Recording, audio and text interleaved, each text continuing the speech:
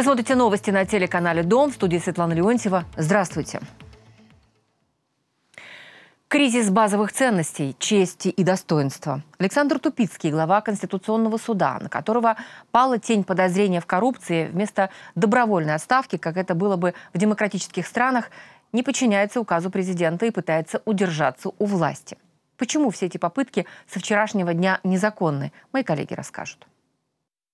Александр Тупицкий созывает специальное пленарное заседание КСУ Такое сообщение появилось в СМИ сразу после того, как президент отстранил его на два месяца от должности председателя Конституционного суда.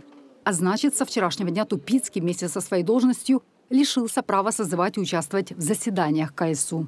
За законом про Конституційний суд України спеціальне пленарне засідання може бути скликано виключно головою Конституційного суду України або особою, яка виконує його повноваження. Пан Тупицький не має на сьогоднішній день повноважень ні як суддя, ні як голова який відсторонений від посади, скликати спеціальне пленарне засідання Конституционного суду. Да отстранение Тупицкого было вынужденным шагом, ведь лишившись полномочий, он не сможет препятствовать расследованию уголовного дела, где Тупицкий фигурирует в качестве подозреваемого. Навіщо відстороняти особу, яка підозрюється в скоєнні злочину? Ну це зрозуміло навіть не юристам для того, щоб особа, яка займає певну посаду, особливо таку відповідальну, як суддя Конституційного суду України, і тим більше голова Конституційного суду України, не могла втручатися в здійснення е, досудового розслідування, щоб вона не перешкоджала своїми діями е, органам досудового розслідування. Несмотря на нормы закона, отстраненный председатель Конституционного суда всячески пытается удержаться в своем кресле. На официальном сайте КСУ сегодня появилось заявление юрдепартамента. Александр Тупицкий, по их мнению, должен продолжать выполнять свои обязанности, а президент отменить указ об его отстранении. Вот только никакой юридической силы у этого заявления нет. Со вчерашнего дня э, Тупицкий не может быть ни судьей, ни председателем два месяца. Поэтому э, пока идет расследование уголовного дела. Поэтому у него нет сейчас полномочий. И то, что сейчас пытается что-то показать на сайте Конституционного суда, это подмена понятий и никаким образом не относится к истине э, к правдивой информации, а есть просто как бы размышлениями некоторых людей в секретариате, которые однозначно надо реформировать. Точно так же может быть кто-нибудь прийти туда написать на этом официальном сайте кто угодно, и, э, например, бухгалтерия, еще какие-нибудь структурные подразделения секретариата, и после этого медиа будут комментировать, что это позиция Конституционного суда. Такие вещи недопустимы в правовом государстве. Для нынешнего состава КСУ, по мнению экспертов, это обращение – последний шанс удержаться в своих креслах. Для того же Тупицкого или большей части судей Конституционного суда знаете, как э, в известной светской комедии, либо, она, э, либо я ее веду в ЗАГС, либо она меня к прокурору.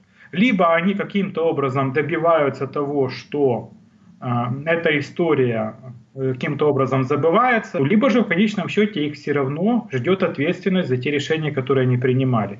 А Тупицкого еще и уголовная ответственность за те нарушения, которые он предпринял еще до того, как возглавил Конституционный суд. Поэтому это патовая ситуация. В минувший понедельник офис генерального прокурора сообщил Александру Тупицкому о подозрении. По версии следствия он причастен к махинациям с приватизацией Узуевского энергомеханического завода. А после, пытаясь скрыть это, подкупил свидетеля. Однако это не единственное темное пятно на репутации Тупицкого. ГБР проверяет его причастность к преступной организации, а также незаконное приобретение участка в оккупированном Крыму и даже государственную измену. Татьяна Сулей, Киев, твой дом. Иран готов выплатить по 150 тысяч долларов семьям погибших в авиакатастрофе украинского авиалайнера в небе над Тегераном. Об этом сообщило иранское государственное информагентство. Министерство иностранных дел Украины считают преждевременным говорить о каких-либо конкретных суммах до завершения расследования и установления причин трагедии. Розмір компенсації має бути визначений шляхом переговорів. І на переговори про власне розмір компенсації впливатимуть різні чинники.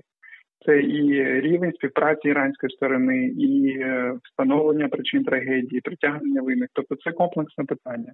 І говорити про якісь суми зараз е, зарано, тому що ми ще не знаходимося е, на етапі, коли можна говорити вже власне про суму мають бути виконані ще передумови для цього. Збільшення розміру компенсації буде враховуватись міжнародна практика, яка мала місце в подібних катастрофах. По меньшей мере 13 человек погибли и десятки получили ранения во время атаки на международный аэропорт Адена, временной столицы Йемена. Взрыв и перестрелка произошли, когда там приземлился самолет из Саудовской Аравии с новым правительством страны. Премьер и другие члены кабинета не пострадали, их доставили в президентский дворец, они в безопасности. Накануне президент Йемена, который находится в Саудовской Аравии из-за гражданской войны, назначил новое правительство из 24 министров.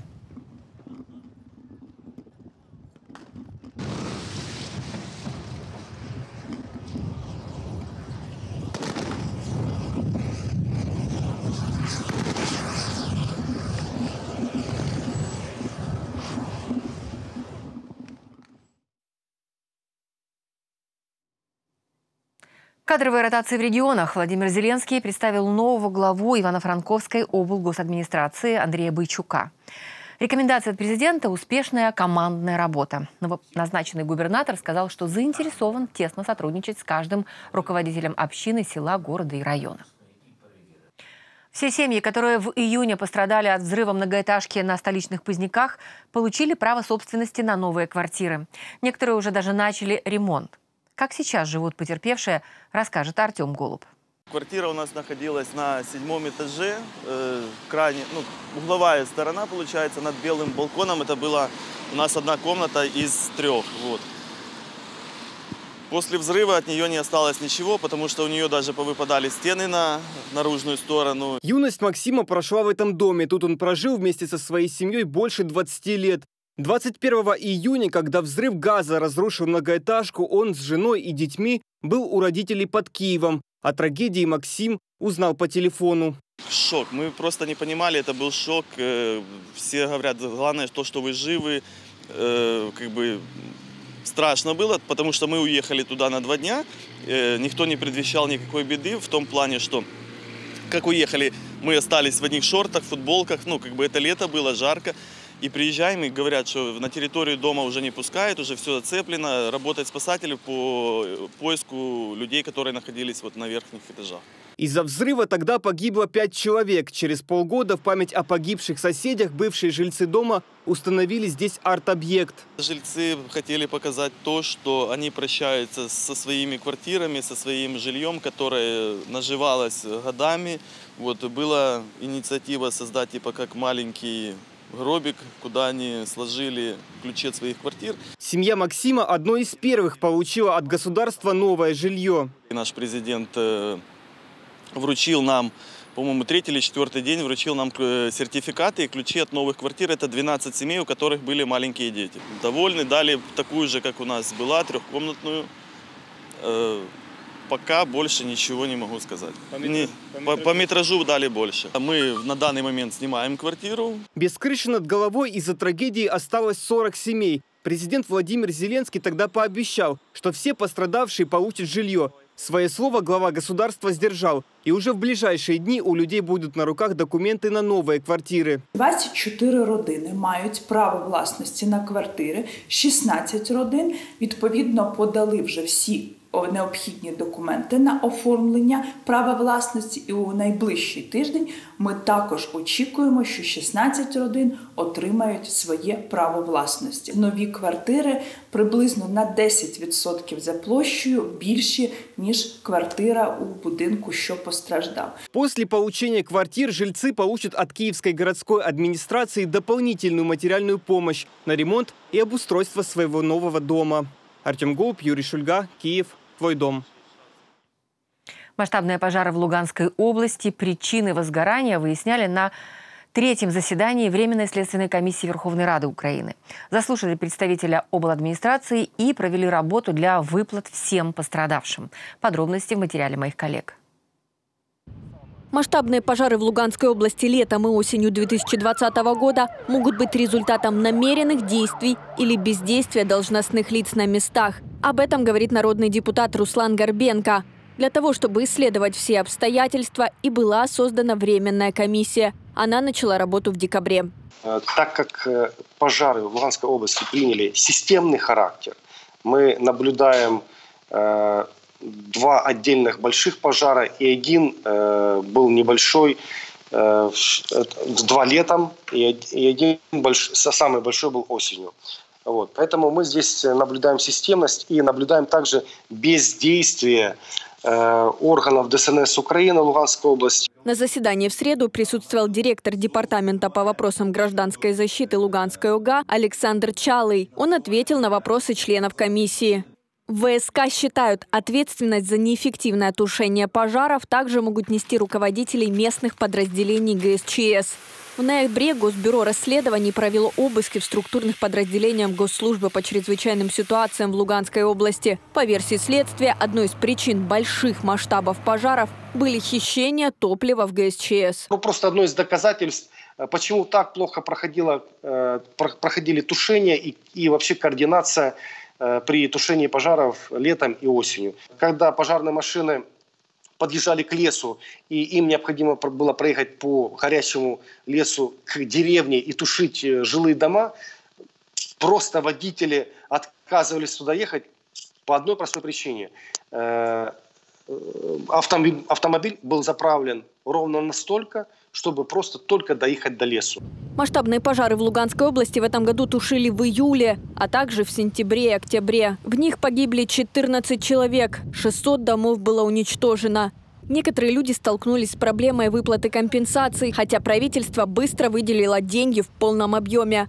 Решить проблему также помогли члены Следственной комиссии. С появлением нашей комиссии, тимчасовой слідчої комиссии, чиновники в Луганской области начали шевелиться начали, начали обращаться за помощью в Кабмин, к премьеру, к министру юстиции, к Денису Малюске за помощью, чтобы все-таки наконец-то спустя много месяцев после пожаров помочь всем пострадавшим людям, которые до сих пор очень многие не получили компенсацию от государства, деньги, которые были выделены Кабмином, практически молниеносно. А уже в области, как всегда, начались какие-то проволочки. На следующем заседании комиссия хочет пообщаться с Сергеем Гайдаем, председателем Луганской ОГА. Заседание пройдет 25 января. Юлия Крючкова, телеканал «Дом». Первый контракт на вакцину от COVID-19 Украина заключила с китайским производителем Sinovac Biotech. Первую поставку ожидают в феврале следующего года. Кого будут прививать прежде всего и сколько вакцин получит Украина в 2021 расскажут мои коллеги. Почти 2 миллиона доз вакцины Украина получит в начале следующего года. Министерство здравоохранения заключило первый контракт о поставках препарата производства компании Синовак Биотех. Об этом в эксклюзивном комментарии нашему телеканалу сообщил министр здравоохранения Максим Степанов. По его словам, китайская вакцина прошла испытания и в Индонезии, и в Турции. Третья фаза клинических исследований завершается в Бразилии. Ею бесплатно будут прививать медиков, военнослужащих і пожилих людей. Стадію клінічних випробувань вже в них є проміжні результати по Туреччині, по Індонезії. Показали більше 90% ефективність цієї вакцини 7 січня повинні бути результати е, саме клінічних досліджень. Після того компанія подається на реєстрацію, і потім протягом 30 днів почнемо повинно отримати 700 тисяч доз. цієї вакцины мы разраховываем саме в лютом. Президент Украины Владимир Зеленский отметил, что государство работает над получением вакцин от COVID-19. Он напомнил, что Украина также договорилась о 8 миллионах доз бесплатной вакцины в рамках международной инициативы COVAX. І це ще не все. Ще будуть е, всі інші вакцини, ті безкоштовні, про які ми говорили, про той мінімум 8 мільйонів. Працюємо над 16 мільйонами. Всім вистачить. Найважливіше, щоб людей, е, які бажають вакцинуватися, щоб їх було багато. В январе следующего года также доставят около тысячи кислородных концентраторов в Харьков. И тогда, по словам чиновникам, все нуждающиеся пациенты будут обеспечены необходимым оборудованием. Количество новых случаев и госпіталізацій, по словам врачей, уменьшається. Сподіваюся, що буде покращення, тому що йде тенденція зменшення пацієнтів на госпіталізацію. Ну, Я пов'язую все-таки з карантинними обмеженнями, які були введені. Я думаю, що це основне Прервати біологічну цю цепочку. Своя лаборатория для проведения диагностики на COVID-19 появилась у военнослужащих Нацгвардии в Днепре. Ее оснастили современным оборудованием, которое выявляет антитела группы М у больных коронавирусом или носителей инфекции. Получить результат можно уже спустя несколько часов, что даст медикам возможность вовремя изолировать инфицированных. Тестування на даній апаратурі буде проводитися за медичними показами, показами, а саме наявності симптомів е, хвороби, які мають можливість запідозрити COVID-19 у даної особи. Також можливе тестування з профілактичною целью. Второй день подряд выздоровевших в Украине в два раза больше, чем заболевших. За сутки побороли COVID-16 тысяч 355 человек, тогда как новых случаев почти в два раза меньше. Влада Цуркан, Киев, Ивано-Франковск, Харьков, Днепро. Твой дом. Уже с Нового года украинцы будут платить за электроэнергию по единому тарифу. Кабмин отменил льготную цену на электричество для населения. Почему правительство приняло такое решение и каких платежек ожидать потребителям, смотрим далее. Мои коллеги рассказывают. Отмена льготного тарифа.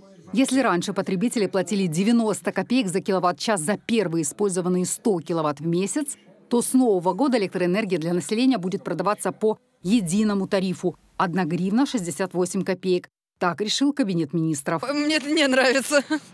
Однозначно, да. И нам приходят странные платежки и так за электроэнергию, типа в три раза выше, чем по факту. Так что нет, не нравится. Я до 100, поэтому по 90 это было более-менее приемлемо, а сейчас вдвойне считай.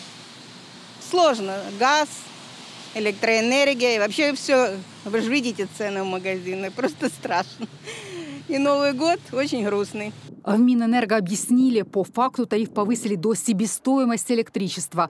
Если бы не постановление Кабміна, цены для потребителей пришлось бы поднять до рыночных. Якщо б уряд би сьогодні не прийняв це рішення, то е, таке стрімке е, підвищення тарифу станеться вже з 1 січня 2021 року. Ціна на електроенергію для побутових споживачів буде формуватися на ринкових умовах, що призведе до різкого приблизно більш ніж в два з половиною рази зростання тарифу на електричну енергію. Госкомпании «Энергоатом», «Укргидроэнерго», «Укрэнерго» обязаны и в дальнейшем продавать электроэнергию населению по ценам ниже рыночных, решили в правительстве.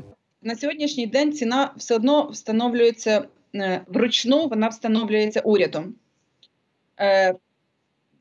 Для інших категорій споживачів, для бізнесу, наприклад, от її вже повністю регулює ринок. Гривня 68 це рівно стільки коштує доставка електроенергії до споживача. Тобто, по факту, ми все одно, як споживачі в умовах ринку електроенергії, ми не платимо е, справжню ціну електроенергії. Ми платимо буквально декілька копійок.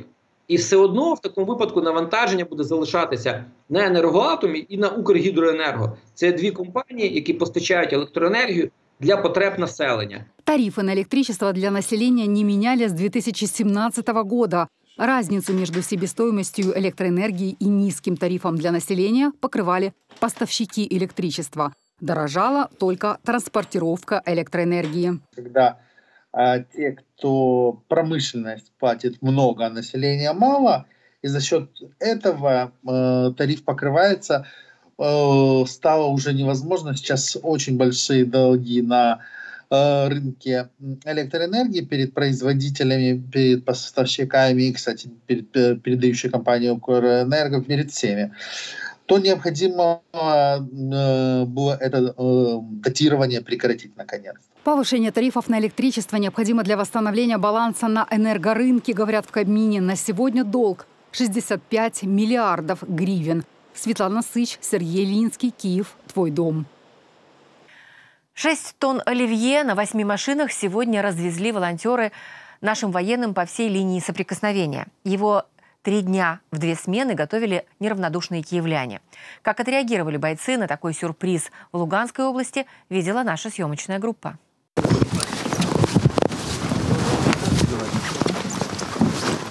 Полторы тонны оливье и 300 килограммов мандарин и лимонов привезли волонтеры для защитников Украины в станицу Луганскую. В течение дня угощения развозили по позициям. Майонезом новогодний салат не заправляли, чтобы сохранить свежесть продуктов. Его передали отдельно. Для бойцов такое внимание стало приятным сюрпризом. Завжди на, на такі свята е, навіть у дитинстві мама там готувала олів'є. Це як якийсь символ новорічних свят.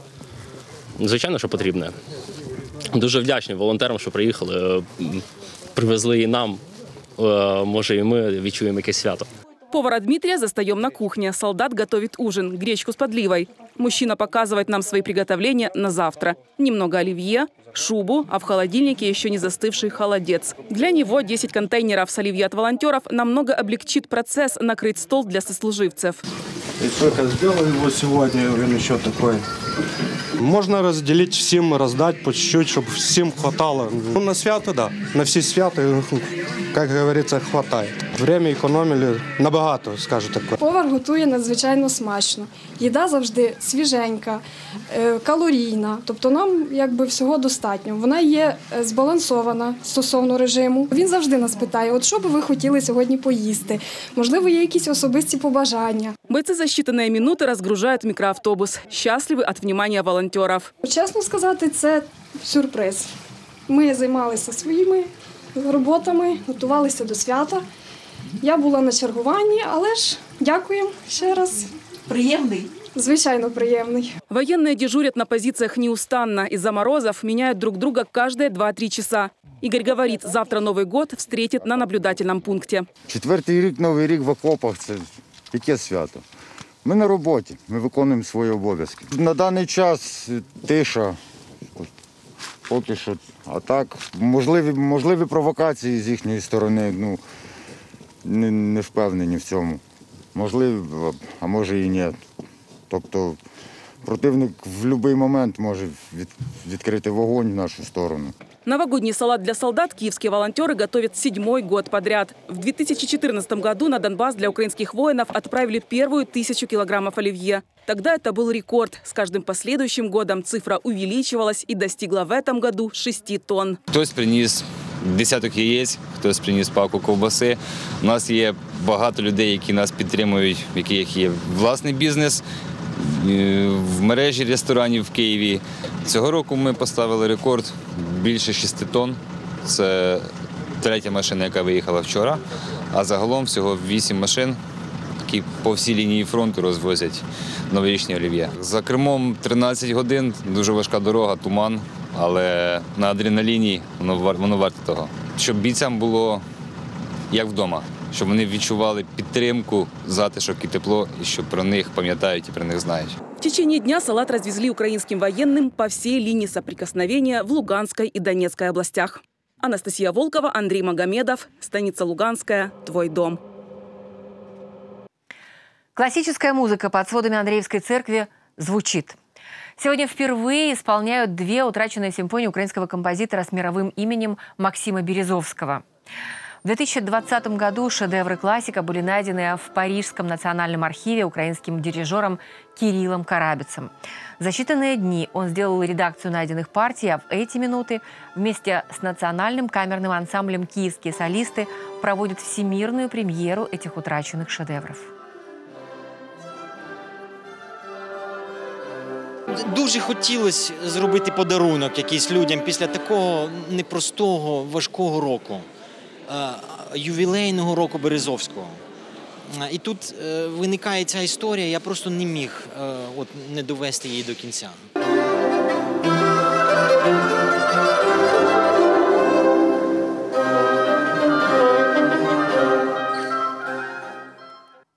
С пожеланием веры, духовности и крепкого здоровья. Я прощаюсь с вами до 22.00. Новости телеканала «Дом» всегда можно найти в YouTube, Facebook и Telegram. Берегите себя и до встречи!